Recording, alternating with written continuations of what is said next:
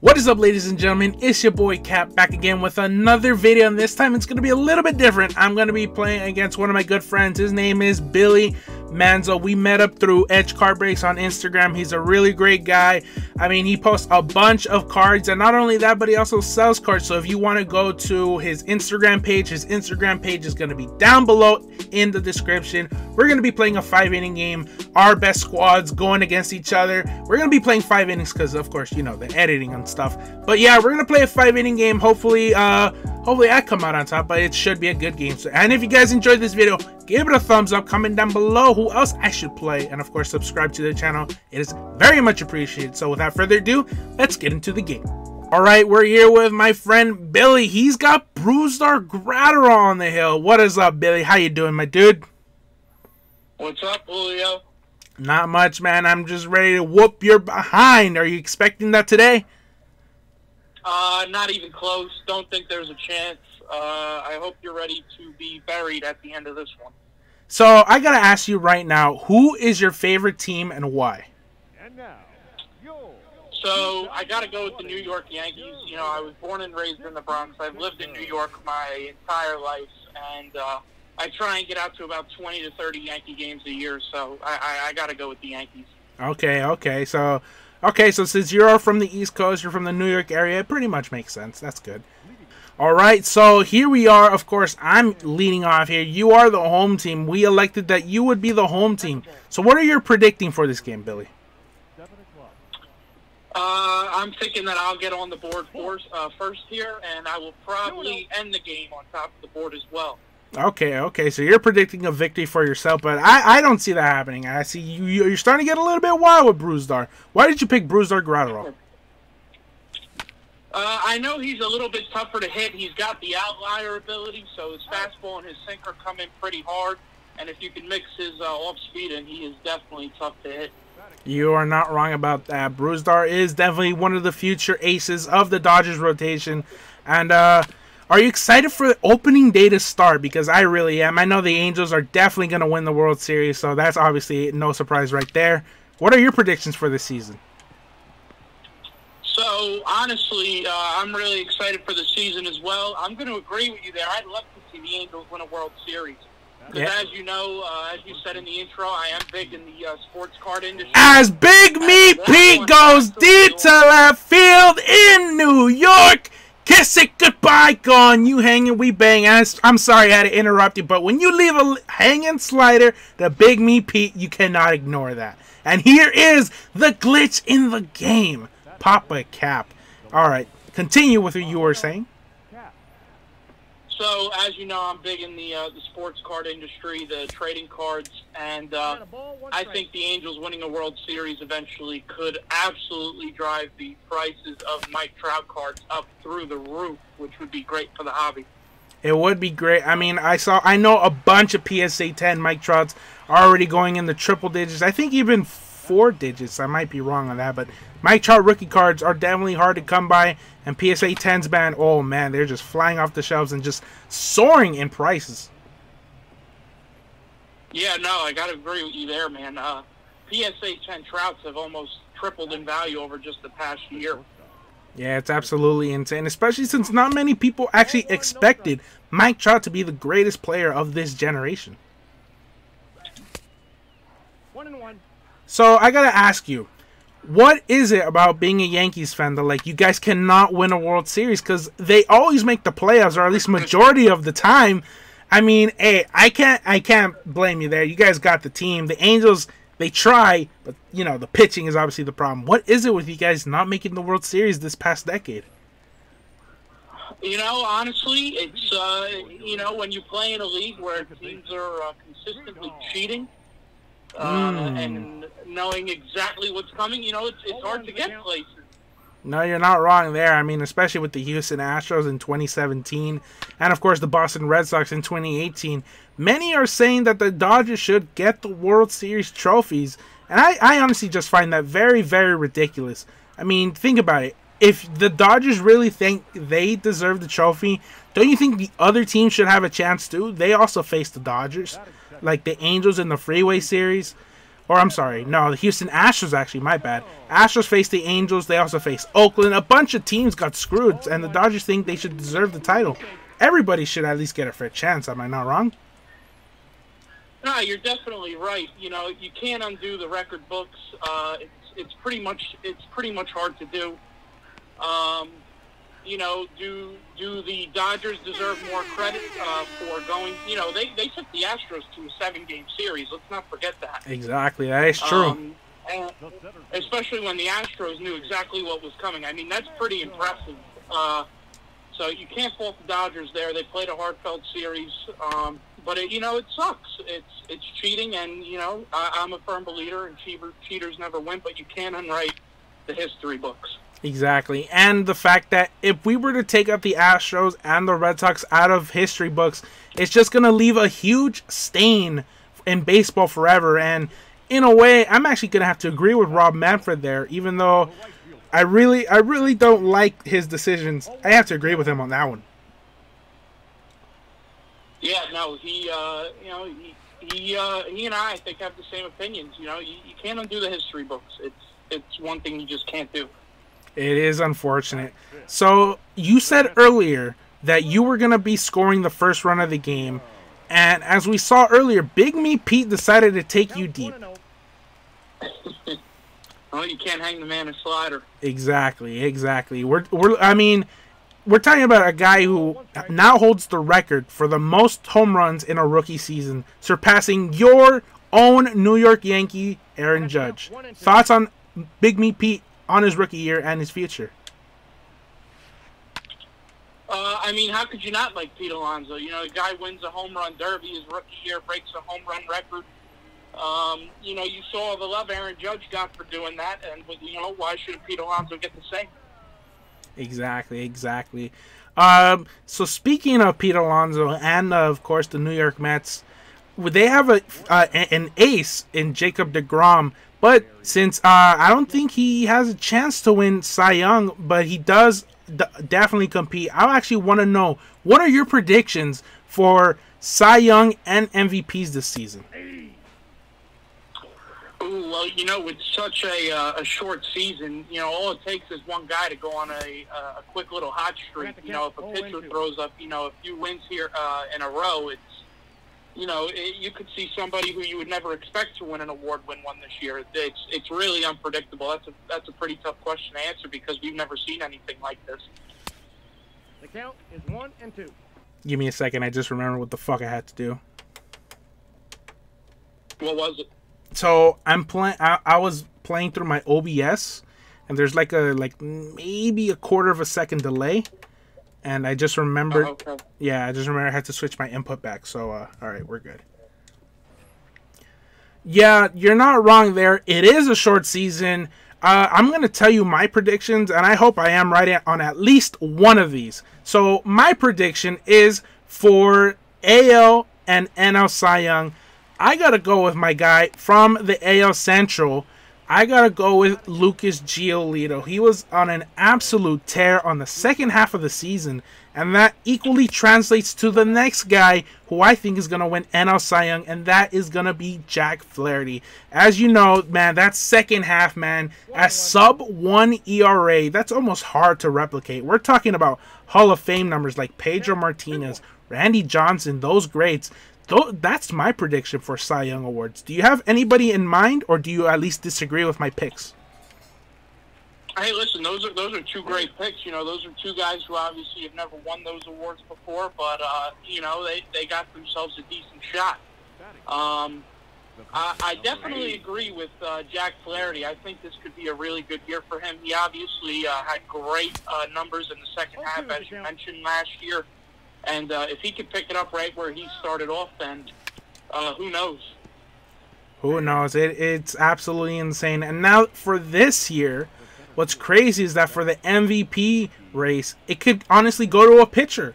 Pitchers are expected to pitch at least 10 games this year, starting pitchers. And even relief pitchers, they could pitch at least what, 40 games this entire season? And they could come away with 35 saves, they could easily win MVP, and it's almost anybody's game. Hey, you know that's very possible. Um, you know, I'm a firm believer in, you know, the. I, I'm not a firm believer in. Uh, it's it's hard to say. Pitchers have their own award. You know, the Cy Young. I think they should keep it that way. Um, I know some pitchers had phenomenal seasons in which they did win the uh, MVP as well, but I think I think a hitter deserves the MVP, uh, and, the pitchers should just stay with their Cy Young award. But that, that's just me. I do agree with you there to an extent. Some pitchers, I mean, they have they do have their own award, but an MVP award does go to at least everybody in the league. So technically, I feel like everybody has a fair shot. But I do understand where you're coming from. Cy Young award should go to, of course, pitchers. MVP should go to hitters. You're not wrong there. But in order to qualify, like it's very rare for pitchers to actually win MVP. I mean, the last last guy to probably do it was, I believe, Kershaw. And obviously, he had to put up miraculous numbers to win that, and he rightfully so deserved it. Yeah, as I make a uh, huge blunder there on the base paddle with uh, with David Ortiz, who if he doesn't hit a home run is uh, pretty tough to move around those bases. Well, then again, too, you hit it to the one guy who's the GOAT in baseball, and that's Papa Cap. I mean, I mean, dude, that was your own death sentence, you know? Yeah, well, considering we're playing a five-inning game, I think it's time for Brusdar to take a seat for somebody on the bench. You're not wrong, man. With a five-inning game, you know, you only got a certain amount of outs. You got 15 outs to work with, and you're going to bring in player of the month, Cody Bellinger. And is this the prestige card? It is not. Okay, so it's, I feel a little bit safer then. Here we go. Oh, okay, that's going to be Blister to right. You, you got a two-hour rally going on, though. Yeah, you know, we could have been looking at a tie game here, but David Ortiz did a David Ortiz thing and decided to uh, walk around the bases. All right, that was that was a very smart move, which actually gets me thinking. I should probably get something getting started in the bullpen, as that's exactly what I'm gonna do. You got three consecutive switch hitters to start off this game. I probably should have paid a little bit more attention to your lineup, but with two outs, man, I'm really focused on the hitter more than the runners.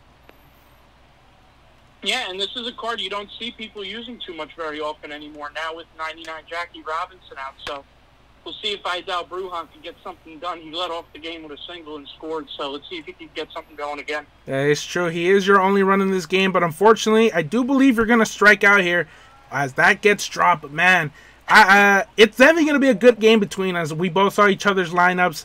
We both know what's un, uh, what's uh, what we're expecting, so it's gonna be a good game. As that you hit it down the line, you might be able to take the lead, but Papa Cap's reaction is too quick for anybody in the game. But you do tie this game. It is now tied at two apiece. Okay, you did say you predicted yourself a victory, but hey, with all we still got three innings left. It's definitely anybody's ball game right here. I mean, I don't know why you would go against yourself when predicting who's going to win the game. I mean, I predicted myself to win, bro. You're the one that uh, said, "Oh, I'm gonna score first. I'm like, "Well, about that, Chief. You know, Big Me Pete has some other words." All right, as we got our 0-2 count, let's see if we can strike you out. And ooh, very, very good eye. That's called a take. That's called a very good take there, Julio. It is. You are not wrong there. Oh, oh my God! Hey, hey, hey, that's Royoso. That was not my fault one bit. I mean, listen, if you want to put him on for the mix, you know, I got no problem with that. You know what? You know what? I th- I think I gotta set out Royoso. That was a very very interesting pitch by him. But you know what? That's gonna be it for him tonight. As this is a five inning game, you did say that earlier, five inning game. So we got to go to the bullpen. We're gonna bring in Fernando Rodney. His control is definitely questionable. But hopefully he can at least get out of this inning some way, somehow. Bases loaded, though. Two outs. He's going to try and avoid it as you hit it down the line. That is going to score two runs right there. Fernando Rodney gives up a two RBI double. Just like that, you score two runs. Wow, you're definitely making a comeback. But, man, I, I'm really hoping to win as we jam you with that inside slider. Man, tell us about what you were looking for in that inning. Uh, you know, I was just sitting on the fastball. You know, I was a little late on it. Um, I, I abused the left field line, as you could obviously tell. Um, you said Papa Cap out there was uh, the guy not to hit it to, and I just wanted to prove you wrong and start, uh, you know, hitting it down that left field line. Hey, man, you definitely hit it well, man. Papa Cap was, uh, of course, chasing these balls down, and he actually did, like, you know, throw them quickly. As you bring in Dellin Betances. Now, I believe this is the new Dellin Betances that was part of the new event Primetime. Am I not wrong? You are correct there, Julio. This is uh, the brand new one. Did you buy this card or did you grind for these event wins? What are you talking about, Julio? You know I already bought the card. yeah, dude. I, I, I, believe it was like 40 wins the only way to get this card, uh, or 60 wins. But yeah, this card is definitely nasty. I mean, there's it's really hard to hit. I mean, does he not have 99 velo and break? Uh-oh. Oh, as you low, as you throw a slurve and that baby is gone. Big fly for Robbie Cano. Don't you know? With the solo Jimmy Jack, making it now a one-run game. Now the game plan has changed now. As you throw that slurve, man. Hey, this is I told you this was gonna be a close game, and hey, are we not are people not paying the price of admission for this game? well, this is the one time you get to see some fans in the stands this year, so they're, they're paying for a good game. Yeah, man. Uh, so I want to ask you, what are your thoughts on uh, this whole negotiation for this baseball season? Like, obviously, with the MLBPA and the MLB, the owners, what was your entire thought process going into this? Like, expecting, you know, 60 games, 40 games, 120 games. What what did you think of that? Well, Julio, if I got to be honest with you, I, I did not expect a single game of Major League Baseball to be played this year. Mm-hmm. Um, I think the negotiations were, you know, a little childish, if anything, on both sides. I think both of them had, uh, you know, both of them had their ideas of how they wanted the season to go. But you know, I'm glad they eventually came up with the deal because you know we, we need baseball in these times, man. We we really do need it. No, you're absolutely not wrong. The only problem now that we face as fans is that a lot, not a lot of players, but some big players are opting out to not play the season. Now, I, at least in my opinion, do not fault the players one bit for not playing the season. Many for health uh, reasons, many for, of course, personal reasons. But you know what? I do not fault the players one bit. What are your thoughts on the players opting out this season? Uh, you know, it's their right and their choice. You know, they have families, they have people they have to think about. I wouldn't blame it if, if you know, they didn't even play because of it. But, you know, I give props to the guys who are, because, uh, uh, you know, people want to watch baseball this year, and, you know, thank God we're going to be able to. Yep, yep. And now a lot of players are actually, some of them don't even know, but some of them have actually been hit with the COVID 19 virus. And I know one of those players recently announced that they got the virus, or at least the reports, is Aroldis Chapman, your fellow Yankee. What are your thoughts on Chapman getting the virus? You know, obviously that hurts the Yankees because that's that's their guy, their closer. But um, fortunately for my Yankees, their bullpen is is pretty tough to beat anyway without him. Uh, but obviously, you know, prayers go out to him and his family. Hope he gets well soon. We'll get to see him play this year. Hopefully, and not and um, Chapman isn't the only Yankee. DJ LeMahieu was also diagnosed with the virus. Man, a lot of players are being hit with the virus, but you know what? We do hope that they have a speedy recovery, and they ho- hopefully they get a chance to play this year. But you know what? I would not fault them one bit if the if the team or the player themselves decides to not make them play this year. Of course, yeah, and it's you know it's sad, but you know that's how life is now. Um, hopefully these guys are over it soon and everybody's okay, and uh, we can get back to playing some baseball with everybody. Hopefully that is the case. Switching topics, we're going to talk about a little bit about you, if we don't mind. So we know you have your own uh, Instagram page of baseball cards. Why don't you tell the people your Instagram page of baseball cards and tell us a little bit how you got into cards? So, uh, for all of you who'd like to see my page and check out, I do uh, group breaks all the time. Uh, you know, I post some of my uh, mail days and newer cards. It's at Simply High End Cards on Instagram. Um, so, if any of you guys want to check it out, obviously go ahead, be free. Please throw a follow if you uh, enjoy what you see on the page. Um, as I bring in a new picture here. Bring in a lefty. Bring in a uh, lefty. Bring in a lefty. Damn. Gotta yeah. go with my guy Tom Henke here, Blue Jays Team Affinity card. That's right. But, very, um, very nice again, back, back to the uh, back to the Instagram. You know, uh, I, I got into cards when I was, you know, about ten years old. My father passed down his collection to me. Uh, you know, it was there was no huge cards, nothing great, but it was cool to collect all the players when I was younger and see, you know, who did what, the facts about who, all, all the statistics and everything. It was it was really cool, and I, I really got into it. And then eventually, as I got older, I started realizing, you know, that they started making autograph cards and game used memorabilia cards and all stuff like that. And it was really something that I found really cool. How, you know, you don't just have to be at the ballpark to. Uh, to get a real feel for the game and get a guy's autograph. It's it's it's pretty cool to get it out of a pack of cards. Yeah, you're not wrong about that. As I strike out right there. But no, yeah, trust me, baseball cards, they've been a passion of mine since I was younger, man. I remember I would go to Target when I was maybe eight, nine years old. I remember very early, one of the first, uh, earliest memories of me actually getting cards. I, I got like a complete set. I don't remember what year specifically, but it came with like a special like Mickey Mantle pin or something of that kind as you hit Biggio. But yeah, that was actually Uh, one. One of my first memories of like getting a complete set. I remember my mom getting mad at me and she told me she not only told me but to my dad saying, "Why would you buy him cards? That's a waste of money. You know he's never to keep them this and that, you know, yada yada."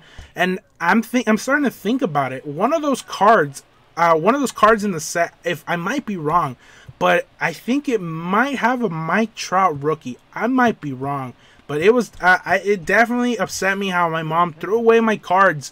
And uh, now that I'm starting to get back into the hobby, about a good two years ago, it's insane how much value a lot of these cards have, and different types of cards, relics, autos, cut autos, a bunch of different stuff. It's absolutely insane how cards have just, you know, soared over the years. Yeah, and as you unfortunately uh, hit that pop up right to my catcher, um, you know, listen, if you have Trout rookies laying around, that's that's some good money, man. You can prove to your mom right now that it was one of the smartest uh, business decision of your father's life if, if you just happen to pull a uh, Trout rookie out of one of those boxes. But, um, you know, the uh, the card collecting industry, especially within the past year, has has uh, been phenomenal. The uh, card prices are up. Uh, people are just, you know, and I hate to say it because obviously it's a, it's not a great thing, but the coronavirus has had actually a positive effect on the hobby, just because it is giving uh, people uh, something to do. You know, get back into sports card collecting while they're home. You're not wrong there. I remember I was going to Target uh, about a couple, about a month ago, I would say, or two months ago. I went to go get a see if uh, maybe Target had restocked, and lo and behold, the Target that I went to restocked, but they own they didn't have any Bowman blaster boxes. They had Bowman uh, packs, value packs, fat packs. That's all they had, and I thought to myself, well, especially since this is my local Target, I don't think I'm gonna get another chance to actually get cards. So I decided to get everything in stock, and out of one of those packs came out a Bobby Witt Jr. sticker auto number to 150. It was, of course, a blue parallel, and of course, with him being on the Royals organization, blue on blue does bring some value. So, to my mom, if you're somehow watching this, cards do have value. But you know what? That's the thing That's about cards, card, man. yeah. It is a nice card. One of the things, yeah, I love collecting cards, man. But yeah, uh, this hobby really did uh, bring a positive uh, to uh, to as in value wise. You know, with the co- co- coronavirus, all that stuff, man. It's it's absolutely insane how the trend has gone, especially with like a product like uh, Project 2020. You know. Yeah. I, I totally agree with you. Project 2020 is something that's pretty cool. I wasn't a big believer in it when it came out, but now looking back at some of the prices, some of the earlier cards, it's, it's been a, definitely a smart investment for a lot of uh, people who got into it. Yeah, and I might be wrong, but uh, how mu- how much are those cards going for? I never I never jumped on the hype train. I, I always felt like it was a risk, especially since they weren't you know like actual cards produced by Topps, but more they were produced by Topps, but more by like the artist. I I never really saw its potential. What was it about Topps Project 2020 that really just soared? As you honestly, hit a home run to left field to make it a 7-3 game. Wow, you definitely put this now, game. Julio, before, before I tell you my thoughts on the Project 2020, I have to ask, what what what in your mind? What were your thoughts on walking Chipper Jones there? Here's the thing I wanted. The reason why I walked Chipper Jones is because I wanted to force a double play some way, somehow. And if you see that slider that I threw to Mickey Mantle, that was a borderline below the zone pitch. And I just don't know how you got under it, you know? Yep. Man, I. Now, anyway, back to the back to those Project 2020s. You know, I think uh, with Topps using such great design cards from you know previous years, uh, you know, I think it just brought a lot of nostalgia back to people, and to see the cards get you know almost mutated in a way into something cool was, I think, something the fans uh, you know of baseball appreciated and really enjoyed. And there's also a chance of even getting rare parallels and uh, one-on-one cards which have a, uh, a huge value if you're lucky enough to get one. Yeah, I, b- I believe those are the one one of ones, and I believe there are also artist proofs, and those are random artist proofs are are the number to twenty five, I believe. Those you do have to get through the Topps website, but the one of one you ha- you have to get lucky. You honestly have to get lucky in getting it because those are I believe randomly inserted. The one of one, right? Correct. Yeah, it's absolutely insane. As we head to the top of the fifth, I have to find a way to make a comeback. You got a 7-3 lead on me. Man, you you've been hitting the ball well. Not like a bunch of my games where my opponents get cheap hits after cheap hits. As you bring in the Cuban Missile Aroldis Chapman, I don't see why he's pitching for you, man. I heard he's not. I heard he was hit with coronavirus. I don't know why you have him in, but it's understandable, you know. Well, unfortunately for you, Julio, this is the uh, signature series. Cincinnati Reds Aroldis Chapman, who was extremely healthy. So I did. I did see the sinker and uh, all the other pitches he had. So I know this is the uh, uh, signature series card. This is. I don't know how you got this card, man. This card, you must have gotten lucky in the Ducks on the Pond packs. ducks on the pond, baby, ducks on the pond. All it took was one pack, and I didn't spend a dollar more on them. It's absolutely insane. As I hang you a slider and you roll it over. Dude, let me tell you, once you see this video, I timed it good. But of course, SDS, man, good timing, groundouts. You know, you know the saying. We're gonna see how good you really are right here, Julio. Oh, hey, I'm try. I'm definitely gonna try and put up a fight at least. I'm not just gonna give up straight up. I'm gonna see. I mean, this Chapman is nasty though. This Chapman is absolutely nasty. It's definitely hard to hit off of as you've thrown two fastballs. But here we go, and you throw another one, and I t- it says good, but I'm apparently a little bit under it, man. That that one should have gone a little bit farther, in my opinion. But the fact that it was down the middle. I don't know. As this game comes down to Papa Cap, let's see. Maybe he could try and extend the life of this game. But you know what? The way you're pitching, it doesn't seem like it. But we're not giving up. As you hit him, you dude, are you jealous? Are you jealous that Papa Cap is better than you? I think that's why you hit him. Listen, you know, I had to set it up right here. I'm gonna do you a favor. I'm gonna bring in a righty, but this is gonna be the best closer of all time. Ah, yes, Mariano Rivera, the the sinker king, is what he's famous for, right?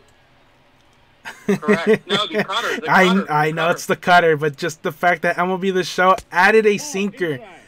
Uh, I don't recall him throwing a sinker. Maybe he did it during his starting days, but hey, this is a nasty card nonetheless, and we're gonna try, like I said, fight towards the end. So here we go, change up, and we swing early, man. Man, that's absolutely insane.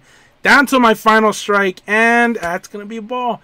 Yay! like I said, I'm not gonna I'm not gonna stop fighting until the end. So here we go, two and two count, and we're gonna hit that so good, perfect, perfect, and that's gonna be over your head. That's definitely gonna make this a seven to four game as we get a run in. Hey, this ain't over. The ball game ain't over till the fat lady sings or till the last out is made. So uh, hey, I'm not calling it a comeback, but hey, I'm definitely putting up a fight. Man, this Mariano. Hey, let's make it interesting, right? Well, how? Yeah, that's right, man. The viewers want a game, and we're gonna give them one. So let's see. Down to my final two strikes once again. Chipper Jones now up as you throw a slider down the middle, and that is gone. It is now a one-run game. Wow, man, just like that, from being down four runs, we're now only down by one. This Mariano Rivera card may not be as good as it seems.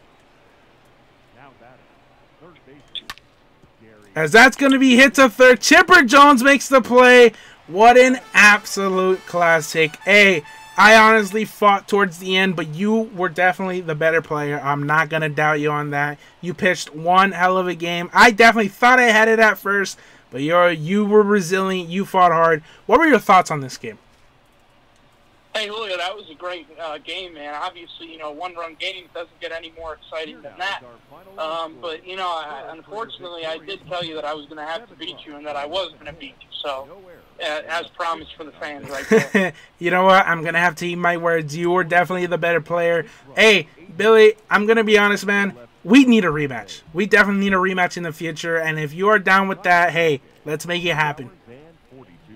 Of course, man. You know, can't say no to Captain America. That's right. But this time, we we we might have to make it a little bit more interesting. Maybe a full nine innings and maybe something a little bit extra on the line. Who knows? But thank you guys Sounds so much. Like plan to me. It is a plan. Thank you guys so much for watching. Don't forget to follow Billy on Instagram. What is your card Instagram account so we can uh, tell the people how to follow you? So if you guys want to learn more about my cards and uh, group breaks and all that, check out at Simply High End Cards. If you're interested in just following me and knowing more about me, at Billy Manzo on Instagram. Thanks, everybody. All right, thank you guys so much for watching. That was Billy. One heck of a game. He came out on top. If you guys enjoyed this video, give it a thumbs up. Comment down below if you guys would like to see the rematch of me versus Billy. And of course, subscribe to the channel. It is very much appreciated. Thank you guys so much for watching, and I'll see y'all later.